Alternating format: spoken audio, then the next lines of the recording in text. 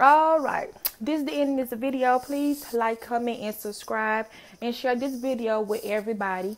And um, comment more videos down below to do. Bye bye.